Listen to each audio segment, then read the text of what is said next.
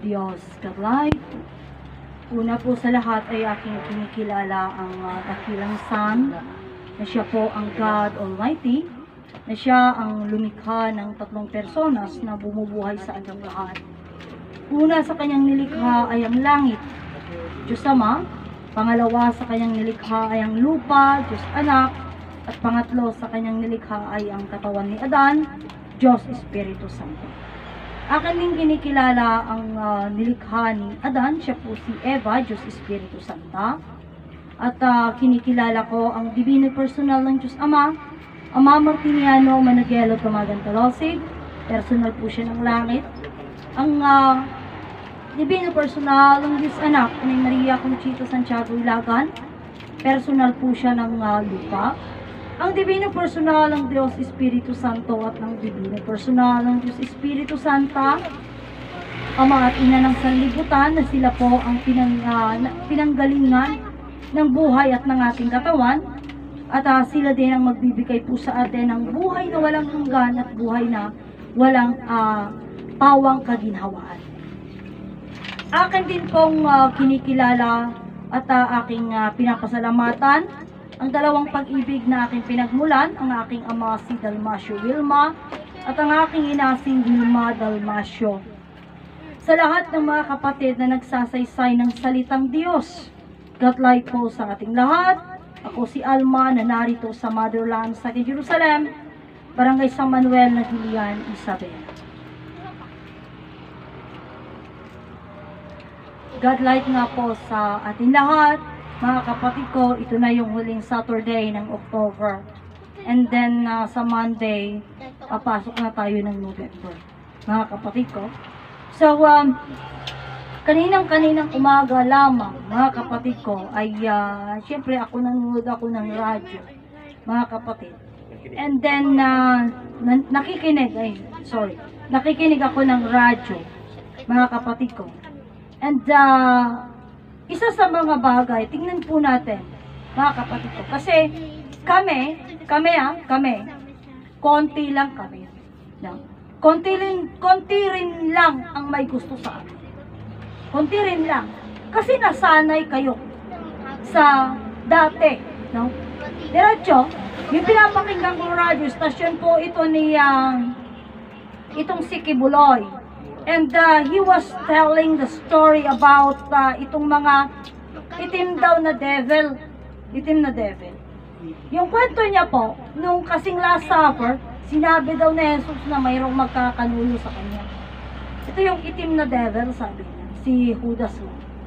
And then, na, may kwento siya na about, tingnan mo ah, may itim na devil, mayroon ding pula na devil. Imagine mo.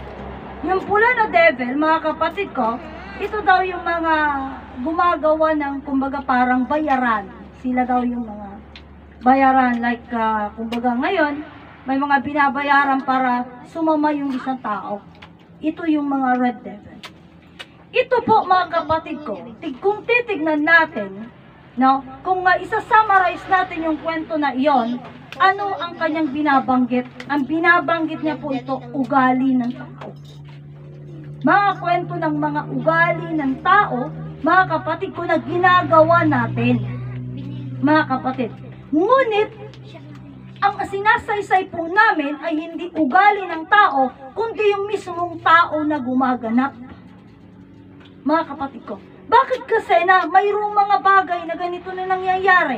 It is because yung gumaganap hindi natin kilala. Let's say, sabihin natin, mismong si Mr. Kibuloy, mga kapatid ko, siya ay gumaganap isang leader. Ngunit ano ang kwento ng katawan at ng kanyang buhay? Mga kapatid ko, kaya nga sa, minsan doon nagkakaroon ng ang kanya daw ama ay ang ang ah, ah, ang kanyang ama ay si Jesus si Kristo si Jesus Christ o nung dakilang ama. Ang kanyang ina naman ay ang ang ah, Jerusalem. No? Ang kanyang ina ay si Jerusalem. Jerusalem, mga kapatid ko. Kung titignan natin, hindi ito even. Hindi even. Bakit, mga kapatid ko? Kasi yung titignan pa lang natin, yung apelido niya, Kibaloy. Kibaloy ba ang apelido ng Diyos Ama? Yung kanyang ina ay ah, itong si Jerusalem. Anong Jerusalem? Ang Jerusalem isang bansa, lugar. Paano nanay niya? Mga kapatid.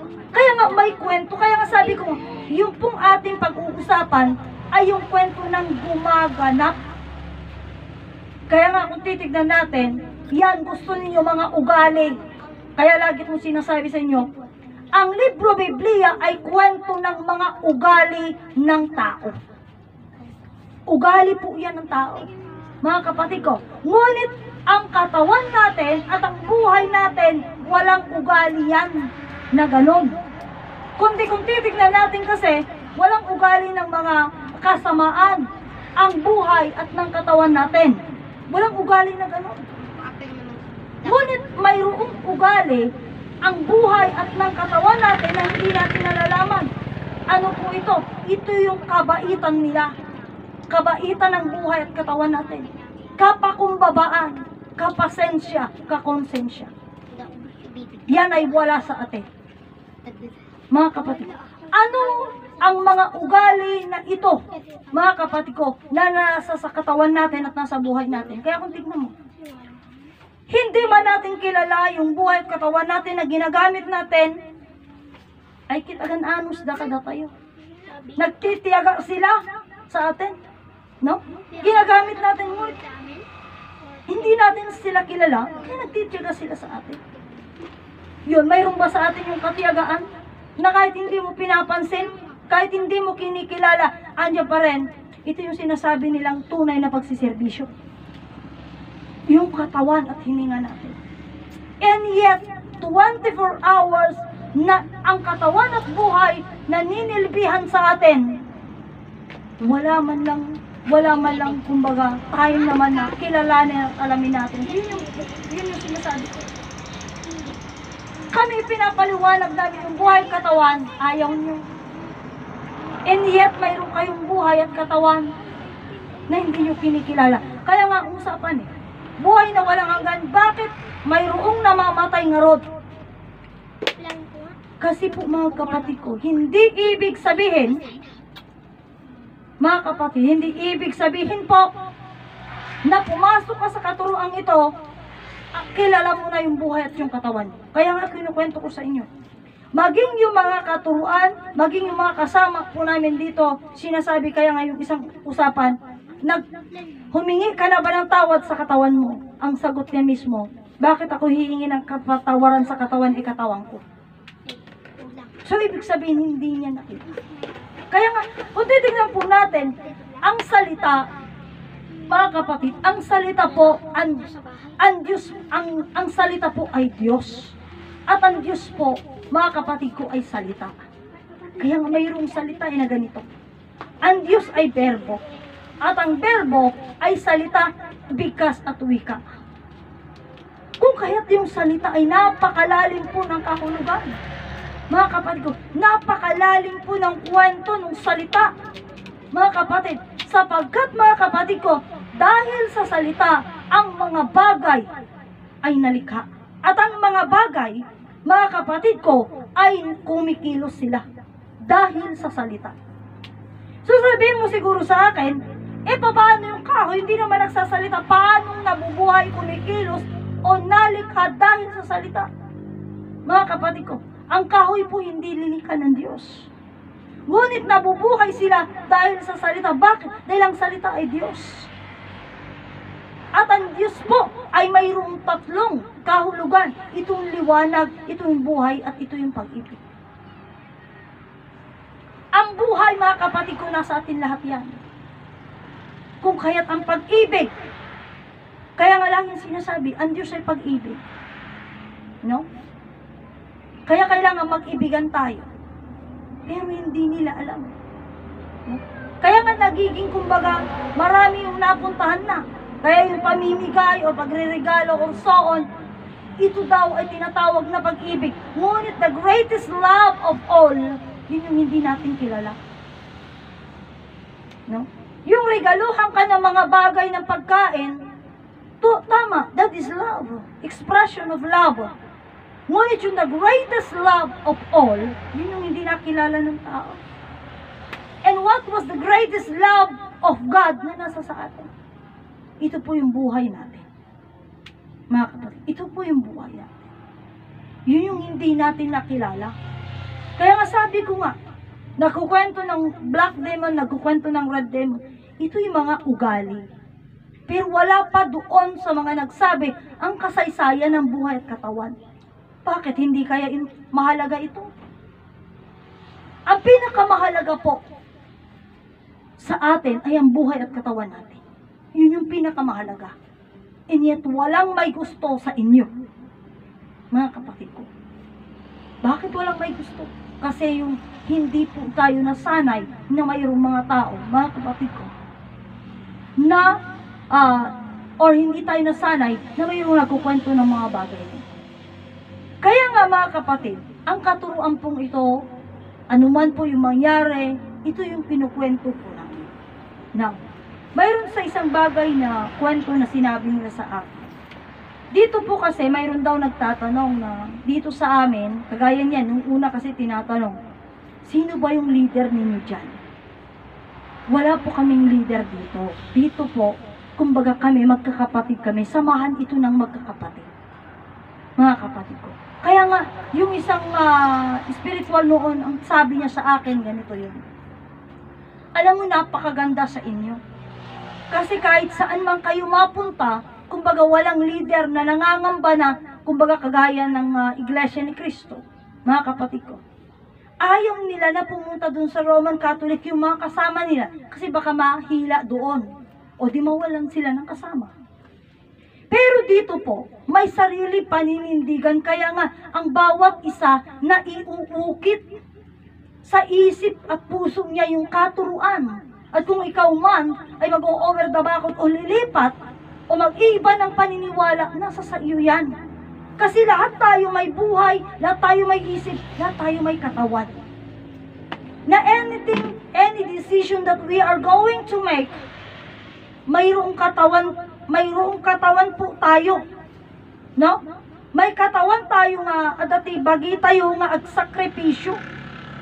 Mayroon tayo yung katawan na makakadama nung gaano yung hirap o gaano yung saya na dinudulot ng ginagawa natin. Mga kapatid ko, mayroong katawan tayo.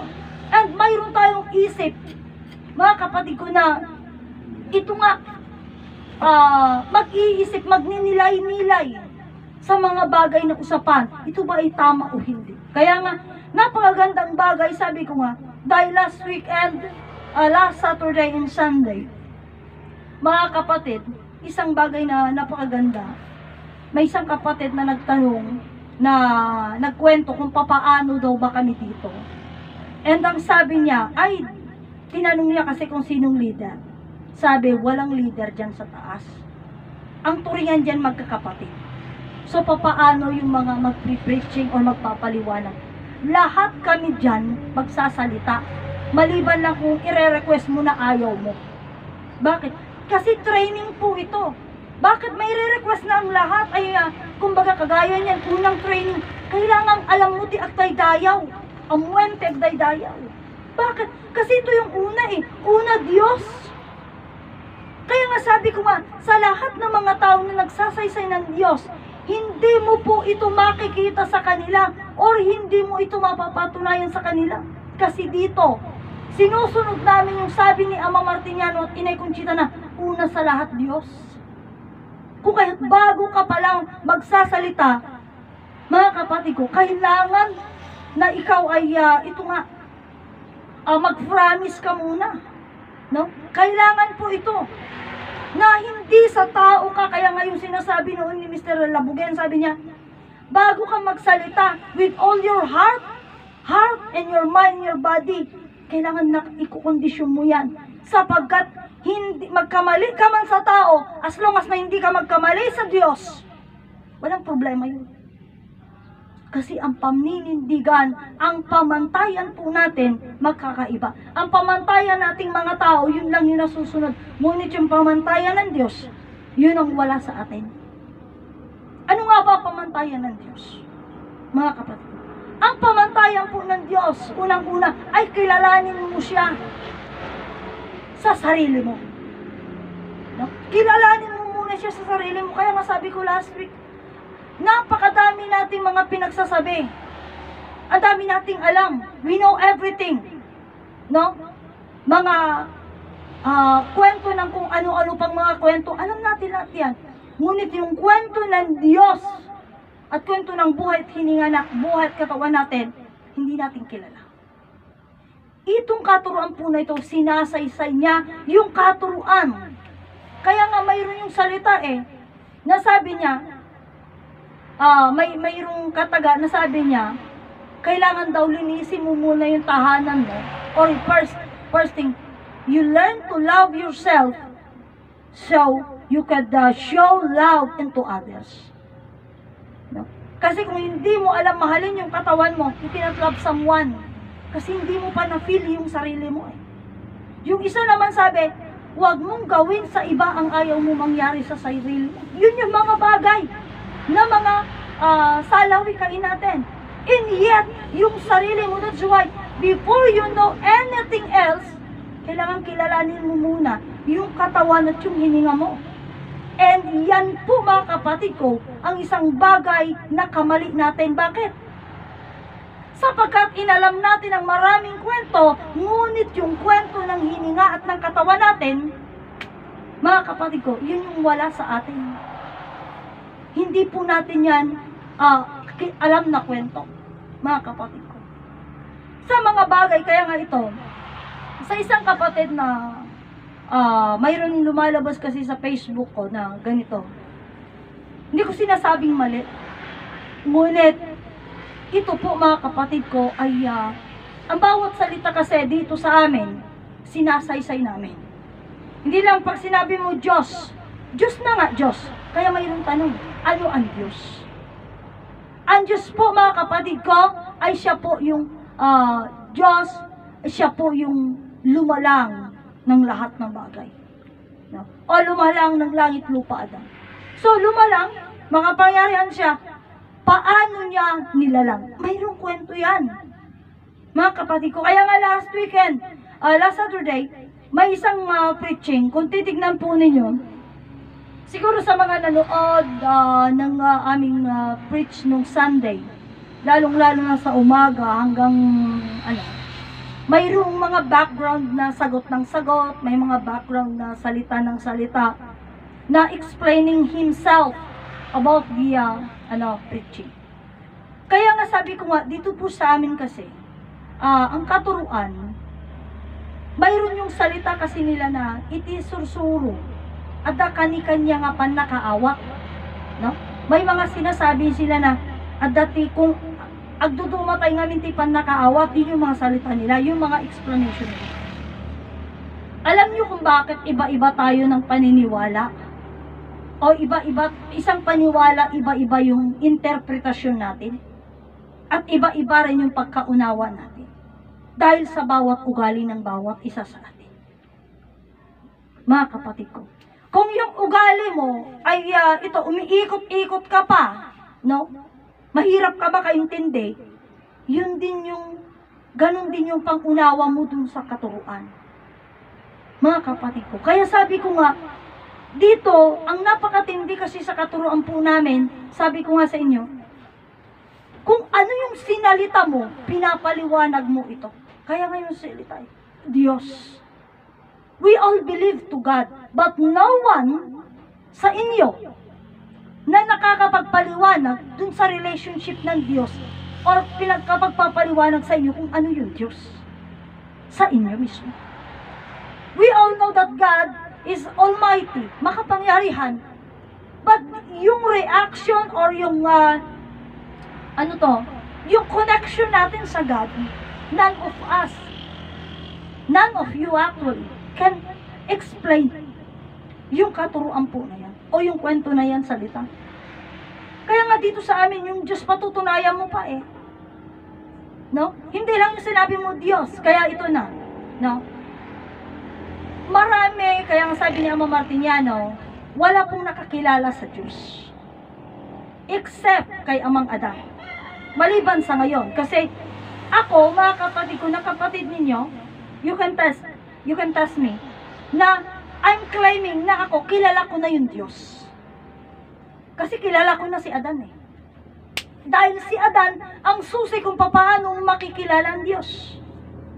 Dahil si Adan lamang ang nakakilala sa Diyos at ang Diyos lamang ang nakakilala kay Adan.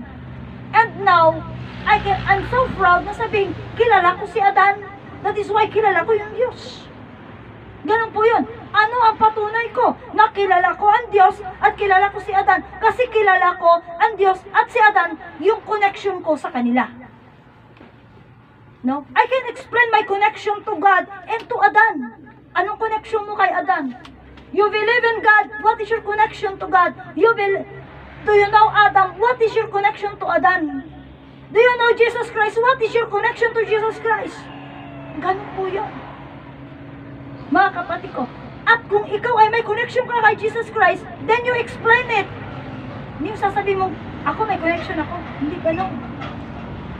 Kagaya niyan. Uh, iiano ko. No? May mga may mga magkakapatid, may mga magpipinsan na pinsan buo, magkakaiba sila ng apelyido. No? Kagaya, kagaya ko lang. Ako, badwa ako. Pinsan buo ko, Danaw. Magkaiba kami ng apelyido. Kasi po, pag pinsan, yung nanay ko sa nanay niya magkapatid. But then, I can relate, pwede kong ip- ipapaliwanag kung paano kami magpinsan. Kasi nga yung nanay ko tsaka nanay niya magkapatid. Now, ganun din. Sabi mo, Diyos mo si Jesus, o you believe in Jesus Christ, so kailangan kaya mo rin ipaliwanag yung connection mo kay Jesus Christ. Within your own body, yung katawan niyo po. Kaya ngayon patunay po namin dito ay yung kwento ng buhay at ng katawan natin. If you said God, kung sabihin mo yung Diyos na yan, ibig mong sabihin, you know how to narrate this story on what is the story of God and what is the story of your own self. Your, your own body. Ganun po yun. Kaya nga kung titignan po natin, bakit idinidiretso ko walang nakakilala sa Diyos?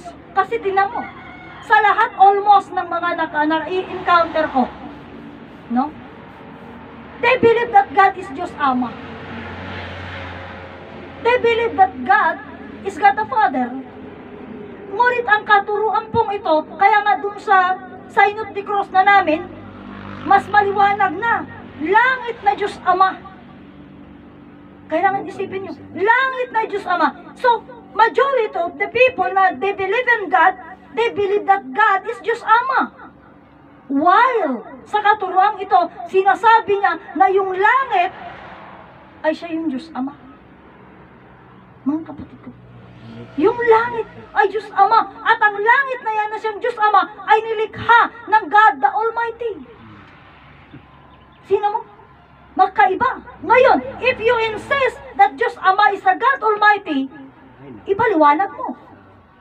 Ganun po yun. Hindi ko sasabihin, hindi, ito na Diyos ay, siya yung Diyos Ama. Pag sinabi mong ganyan, then you have all your right. Mayroon kang karapatan and you have all the chances to explain kung paano mo naging ama yung si Diyos Ama. Ano pa? Kung paano naging Diyos si Diyos Ama. You see? Kailangang ipaliwanag mo po yun. Mga kapatid ko, paano mo naging ama si Diyos Ama? Ano yung connection mo kay Diyos Ama? Ito na. Kaya nga noon sinasabi po namin, Diyos Ama, kunada. Kasanong mo nga nagbaling nga ama. No, maraming maraming pumasok sa usapan na yan. Kasi daw actually, ah, si Diyos Ama daw is actually siya yung nasa langit. No? Kaya we cannot uh, explain. So, ina pa, isa na namang tanong. Kung nasa langit si Diyos Ama, kailan mo siya nakita? No? Kasi yung from the word Diyos Ama, kumbaga kung titignan natin kasi parang siya na kasi nasabi namang Ama eh. So, Ama. Kaya ngayon may salita kami nung Sunday na nakikiama ka lang. Imagine mo, maging tayong lahat, yung pagsabit na, pagsambit natin ng Diyos Ama, nakikiama lamang tayo. And if you doesn't know the story ni Diyos Ama, kung paano siya naging Diyos Ama, at kung bakit ka rin makiki Diyos Ama, and you are certified, gaya-gaya. Ano ka pa? Certified, walang alam. Kaya ang katuruan pong ito, ipinapaliwanag na po. Ang langit po ay siya pong Diyos Ama. Yan. Isa pa sa mga bagay na actually gusto ko itong iklaro ito last Sunday. No?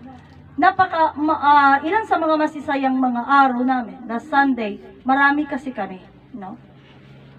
At ah, itong mga marami na ito is actually ito yung mga nauna sa paniniwalang ito.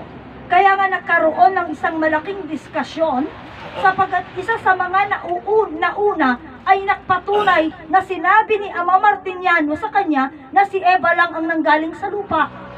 At si Adan ay nanggaling kay Diyos Ama mismo. Or si Adan ay nanggaling sa salita. No? Nanggaling sa salita. And then, mayroon din yung talagang nagkwento at nagsabi, kaya kong kaya ko na ipaliwanag. Ito mga kapatid ko, kaya ito lagi ko itong ah, kinukwento po sa inyo. Kahit po marami kayong damit, kung sinabing puti lang ang kailangan, puti lang ang kailangan mong bilang. No? Kung isang kumbaga latsay, no? Isang ah, isang bahay na yung damit mo, isang kwarto na yung damit mo, ganun karami. Iba-ibang kulay. No? Iba-ibang kulay. Ipag sinabing puti lang ang kailangan, you no need to count all your dresses or your or your dress or your clothes kasi ang kailangan puti lang. So yung puti lang ang kailangan mong bilangin. No? Kahit napakadaming mong alam na kwento,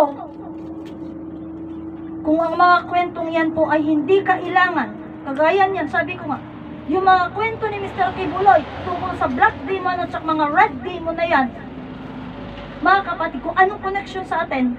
Eh mga yun ay ugali. Mga kapatid ko, ugali yun. Mga kapatid ko. Ugali po yun. Kaya kung titignan natin, yung buhay natin at yung katawan natin, ito po yung tatrabaho po sila sa atin. They were the true public servant 24 hours a day. Ba sabi mo, bakit nagtatrabaho ba yung katawan pag, nasi, pag natutulog? Yes.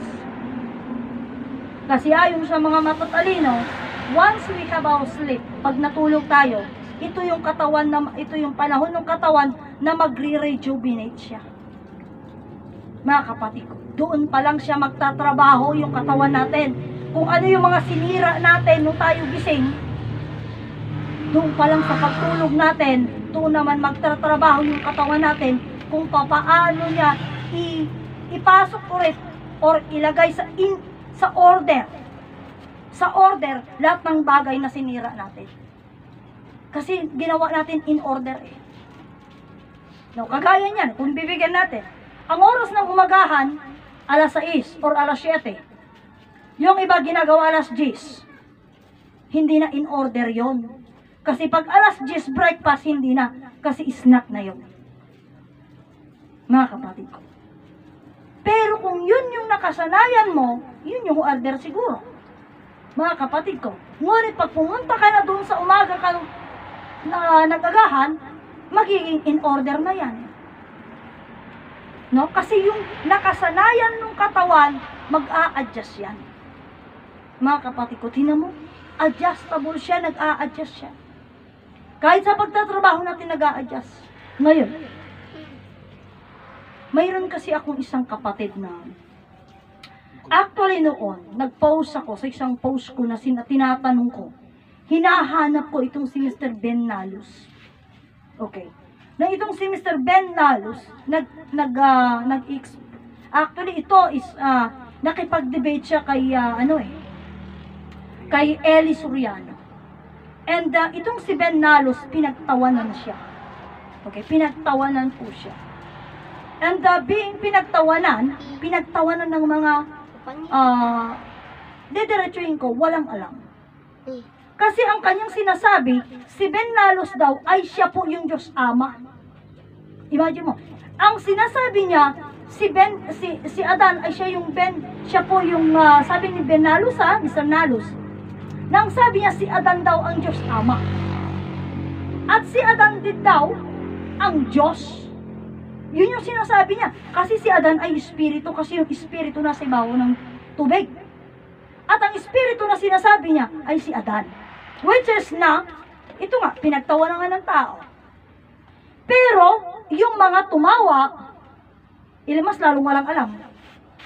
Bakit? Kaya sabi ko, ang bawat salita kailangan ipinapaliwanag dito. Yung Diyos Ama, paano naging Diyos Ama si Adan?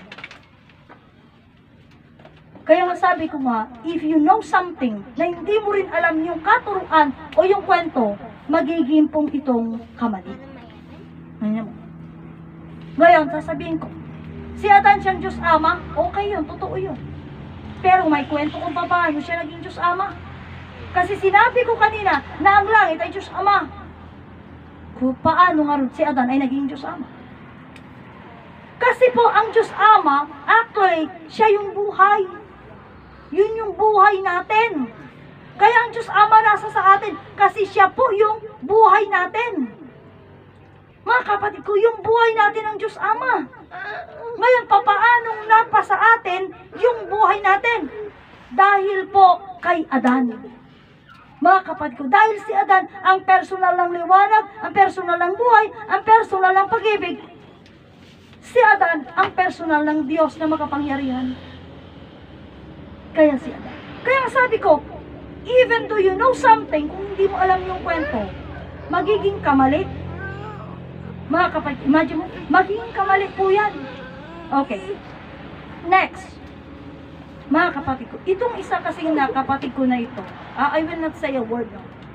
Sinasabi niya na ang Diyos anak daw, itong si Adan. So ako nag-iisip ako eh.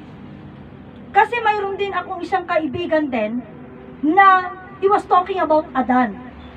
De, pero ang problema kasi sa mga nagsasaysay ng Adan, kinukuha lang din nila yung kwento dun sa Biblia. Kaya ah, ano to na out of balance sila. Pero sa amin kasi, ang mismo nagkwento sa amin, ito pong ah, God the Father mismo, oh, personal ng God the Father, itong si Ama Martiniano mismo, siya yung mismong nagkwento po sa amin. Kung anong kwento po ng ah, kung ano ang kwento talaga nitong Diyos Ama na tinutukoy po natin. Kaya yun yung bagay na wala sa inyo. That is why sabi ko noon sa kanya, ah, yung, na, yung kapatid na nagsasaysay ng ganon, sabi ko sa kanya, alam mo siguro kapatid, sabi ko kailangang panoorin mo yung mga ano ko, yung mga live ko. Kasi pinapaliwanag ko dito kung sino si Adan.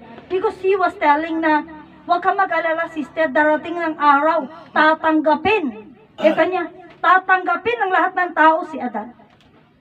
So sabi ko sa kanya, mga kapatid ko, sabi ko, totoo yung sinasabi mo. Tatanggapin nila siya. Kasi, siya, kasi noon pa, tinanggap na nila siya. Pero hindi nila alam kung sino si Adan sa buhay nila.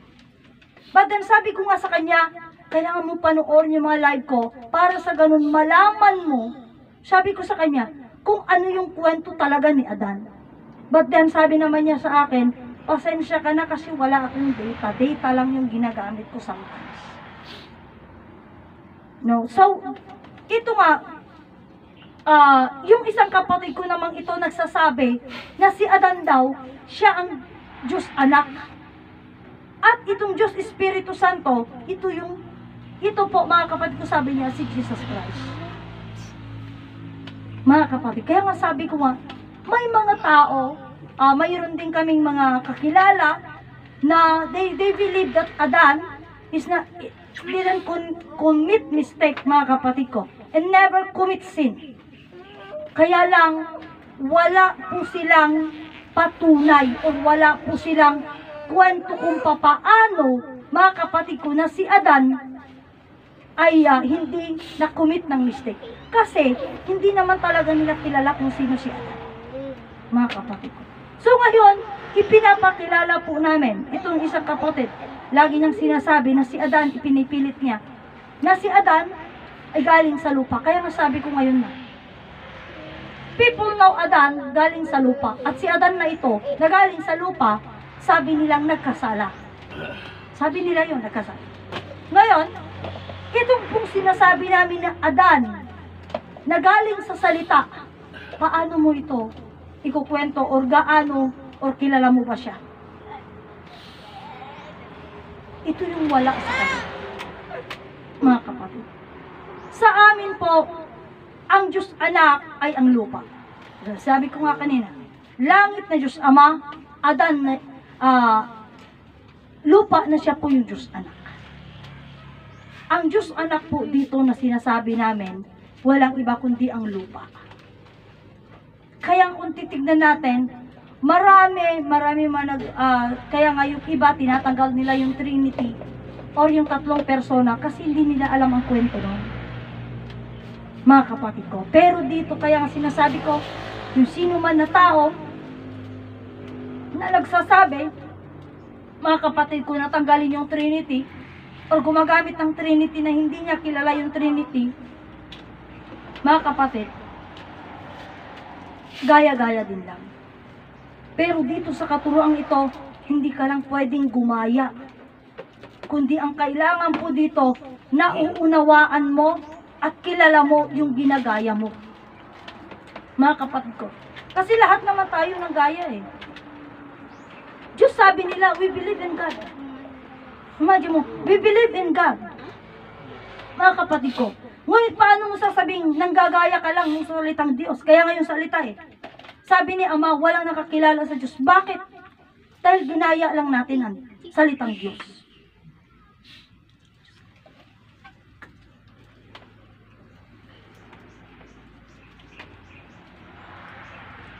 Papaano po natin patutunayan or papaano ko patutunayan na ginagaya nyo lang, ginagaya nyo lang. You believe in God but you never actually know what is God. So, ginagaya mo lang. No? Ngayon, na being ginagaya, bakit paanong ginagaya? Kasi, pag sinabing Diyos, Diyos, nakikidiyos din tayo. Ang problema, hindi natin kilala yung Diyos. Sige, sasabihin ko, okay, hindi, kilala ko sister. Okay, kilala mo yung Diyos. Sino ngayon yung Diyos? Kailangan mong patunayan dun sa sinabi mo, kilala mo, patunayan mo. Patunayan mo. Okay, hindi ko hahanapin yung patunayan mo in action. No? Kundi patunayan mo sa salita lang. Salita lang, kasi paliwanag. You know God, hindi ka nang gagaya. Yung patunayan mo, ano yung Diyos? Mga kapatid ano ang Diyos? Mga kapatid, sabihin mo. So you said so, ang Diyos ay Yeso Kristo. Or ang Diyos is ah, si Diyos Ama. Paano mo, ah, ano ang connection mo kay Jesus o kay Diyos Ama sa sarili mo? Katawan. Katawan. Ang patunay. Kaya nga sabi ko nga sa inyo. No? Mayroon, kagaya niyan. Ha? Kagaya niyan.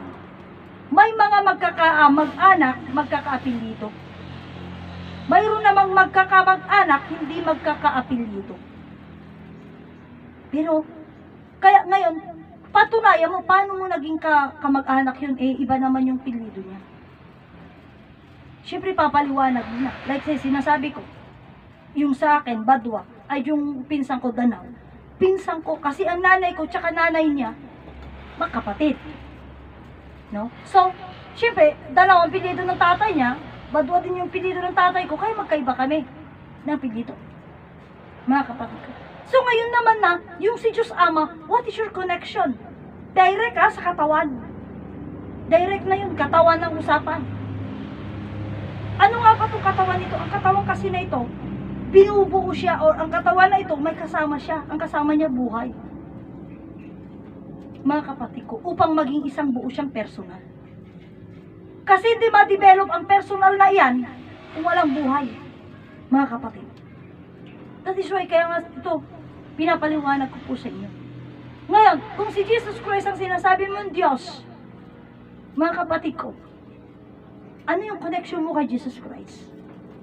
Ngayon, in, kung hindi mo maipaliwanag, no, kung hindi mo maipaliwanag, yung connection ng katawan at buhay mo sa Diyos na sinasambit mo o pinaniniwalaan mo, nanggagaya ka lang. Nanggagaya ka lang. The truth is, you know nothing about God. Wala kang alam. Ganun po yun, mga kapatid ko. Kaya nga, ipinapakilala, ng, kumbaga kami, gina, ko- ako, ginaya ko, kasi yun ang sinabi nyo eh. Diyos ka mo, Diyos sabi nila, din nakikipag-Diyos ka. Nanggaya ka lang, okay, nanggaya ako. But then I know what is the story of God within my own body. Yung connection ng Diyos sa katawan ko. Yun yung patunay ko na hindi lang ako nanggagaya. Because I know the story. Yun po yung patunay dito. Then ngayon, sa lunes, sa lunes, November 1 na po sa lunes. No? And uh, ito nga, kahit pa napakatindi, ng mga usapan, yung mga pagla-lockdown daw ng simenteryo para hindi magpuntahan lahat ng tao doon. And uh, marami pa din yung mga, ito na, marami yung pupunta naglilinis, marami yung so on, gano'n. Ano ba yung pinagdiriwang nung November 1? Kasi sa, sa ano, ah, sa Tagalog kasi araw ng mga patay. No, araw ng mga patay. Kaya nga sabi ko sa inyo, tayo, no, nanggagaya tayo, pero hindi natin talaga alam kung ano yung ibig sabihin ng mga salita. Wala tayo talagang alam. No? Wala tayong alam, wala tayong pagkaintindi. Mga kapatid ko talaga sa salita. Wala tayong wala tayong pagkaintindi sa salita, mga kapatid ko. Tingnan mo. Bakit ko sasabihin sa inyo na wala tayong pagkaintindi sa salita? Alam nyo, sa Tagalog, ang November 1, araw ng mga patay. Sa English, ang November 1, All Saints Day. All Saints Day. Ano ang All Saints Day? Ano ang saint? Saint. Ano ang saint? Santo. Santo. Oh, ang English ng santo is saint. Oh, di mo. Nasanto. So, ibig sabihin, ibig sabihin po mga kapatid ko, Ibig sabihin, yung kaiba ng salita, dun sa Ingles, araw pala yun ng santo. Bakit sa Tagalog, araw ng mga patay? Uy, duma. Yan mo? Kasi yung November 1, sa Ingles, All Saints Day. Ulitin ko, All Saints Day, araw ng mga santo. Bakit sa Tagalog, Araw ng mga... araw ng mga patay? Wala patay nga sa mo? Yun yung mga bagay na hindi natin mai... Ito yung mga tao. Kasi ang All Saints Day, November 1. Ang All Souls Day, November 2. Ulitin natin na. Ang All Saints Day, araw ng mga santo. Ang Martes. ah, November ang to. November 2, All Souls Day, ano ang soul? Yan mo. Ano ang sol? Ano ang soul? Okay. Kasi ang tinasabi nila, body and soul. No? Body. Yon. Yung body, yung bagay, at sinasabi nila na yung soul, actually the soul, mga kapatid ko, is mga kapatid ko, yun daw yung kararwa. Aldaw di Oh. kararwa. Kararwa ka no? Tinan mo ha. Ka magikararwa ko na dito. Ngayon, totoo kaya na yung soul ay kararwa? Magipangan gayon to di kahit. mga kapatid ko. Nakalive po tayo. So, kung titignan natin, mga kapatid, isipin po natin, ito ha, kasi hindi ko ito laging sinasabi. Kasi ang sabi ng Inay Conchita, mga kapatid ko sa pangalan na katalag, may nagkwento sa akin na isang madre noon doon sa Singapore. Kasi una tinanong yung pangalan ko. Sabi ko, Alma. Ang sabi niya sa akin, napakaganda raw ng pangalan ko. Paano po naging maganda? Siyempre, ako naman, ang pangalan ko parang napaka-common lang. Common lang yun eh. Ang sabi niya sa akin, sa Span sa salitang ah, Spanish, ang alma sabi niya ay soul. Soul. Ang ibig sabihin, soul. Sa salitang Ingles, ang sabi niya, ang ibig sabihin ng, ng pangalan mo ay buhay, life. Yun yung sinabi niya sa akin. So, sabi niya, kaya kung titingnan mo sa salitang Spanish, yung pangalan mo na Alma, ay soul. Soul yan, sabi. At sa English, ito ay life. Kaya nag-isip. Ibig pong sabihin niyan, mga kapatid ko, yung soul is buhay, ang sabi niya. Pero doon sa iba, sinasabi niya na ang karar, ang soul is kaluluwa. No? Na yung kaluluwa daw ang bumubuhay sa tao. Ngunit, ngunit, ito na. Sa katuruan pong ito, ipinapaliwanag po namin na yung pong soul o yung kararwa, yung kararwa ay katawan. Ang katawan, ang kararwa at ang espiritu ay iisa. Sila ay katawan. Iisang katawan lang yan. Kung kaya't kung titignan po natin sa yung nilikha ng Diyos na huli ay God, the Holy Spirit. Mga kapatid ko, ibig sabihin nito, yung Diyos, lumikha ng isang santo na isang espiritu. Ano itong espiritu na linikha ng Diyos? Kaya hindi nila may paliwanag. They keep on talking about God is Spirit. Pero ang tanong ko, what is God and what is Spirit? Sabi nila, God is Spirit and Spirit is God. Ang tanong ko, ano yung Diyos at ano yung Espiritu? Hindi nila may paliwanag. Ayun. Ang Espiritu, mga kapatid ko, ay katawan ng tao. Ang kaluluwa po ay katawan ng tao. So, ibig sabihin, the soul is not the kaluluwa, kundi ang soul ay buhay. Kasi ang katawan natin, composed with body and soul. Sabi niya, ibig sabihin, body and life. Mga kapatid ko, buhay at kal buhay at katawan po ito. Hindi buhay at kaluluwa. O bu o hindi po ka, ah, hindi po katawan at kaluluwa, kundi katawan at buhay. Ito yung magkasama, katawan at buhay. Hindi katawan at kaluluwa o katawan at espiritu, hindi. Kasi ang kaluluwa, ang katawan at espiritu ay isa. Kaya yung sinabi po ng isang kapatid ko na sabi, ang Diyos Espiritu ay si Jesus. Sabi niya, hindi ko sasabihin mali, kundi nasa sayo po magpaliwanag.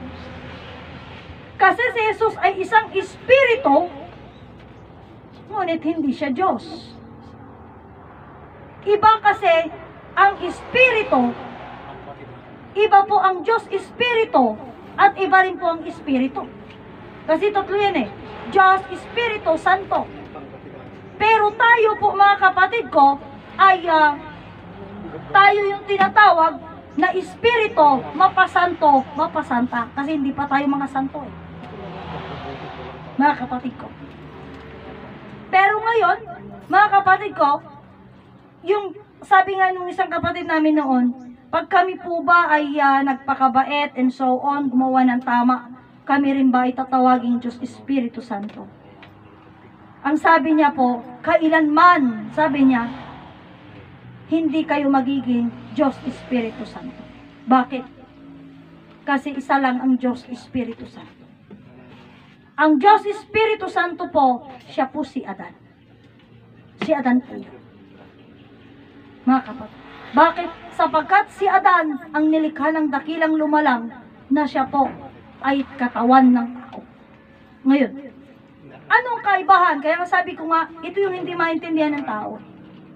Kasi sinasabi nila na yung God the Father o yung Diyos Ama, sabi nila po, ay siya yung lumikha. Ngayon ang tanong ko, paano naging Diyos ang Ama? Paano naging Diyos Ama? Ang Ama. Walang makapagpaliwanag. Kasi po dito, iba mga kapatid ko, iba yung God Almighty. Iba ang God Almighty. No? God Almighty. Iba yung God the Father. Kasi ang God the Father, siya po yung langit. God the Son, ito po yung lupa. O Diyos Anak.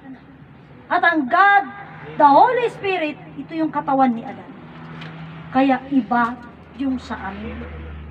Ngunit, yung kwento po namin ng God Almighty, ng Diyos Ama, Diyos Anak, at Diyos Espiritu Santo, ipinapaliwanag namin kung papaano naging Diyos Ama, naging Diyos Anak, o naging Diyos Espiritu Santo. Pinapaliwanag po namin yan. Mga kapatid ko. Ipinapaliwanag namin. Ngayon, if you said na tama yung sa inyo, at mali yung sa amin, then you have the right and you have all the right, mga kapatid ko, and you have all the chance na ipaliwanag yung kwento po ninyo. Ipinapaliwanag po yan. Kaya nga, dito sa katuruan pong ito, mga kapatid ko, we, uh, we even use the uh, Saturday and Sunday na ipaliwanag namin. Imagine mo, ipaliwanag namin po yung kwento ng katawan at ng hininga natin. Napaka ah, halaga, napa, na, napatag, no? Napaka-importante na malaman natin yung kwento ng katawan at hininga natin. Why? Dahil mga kapatid ko, tayo yung usapan dito. Tayo po yung usapan dito. Ano yung usapan dito tungkol sa buhay at hininga? Kasi yung hininga natin, siya po ay ah, yung connection natin sa God Almighty. Yun yung hininga natin. Mga kapatid ko, imagine mo, ang hininga natin, ang connection natin sa God Almighty, kaya mo tinatanong, sinasabi ko sa inyo eh. Ano yung connection ninyo sa God Almighty? Anong connection nyo sa Diyos Ama? Anong connection nyo sa Diyos Anak? Mga kapatid, kailangan po patunayan, ikwento po ninyo. Para sa gayon, mapatunayan po natin kung gaano po kahalaga yung buhay at hininga natin. At papatunayan din natin yung kwento ng Diyos na makapangyarihan. Aawit na po ako.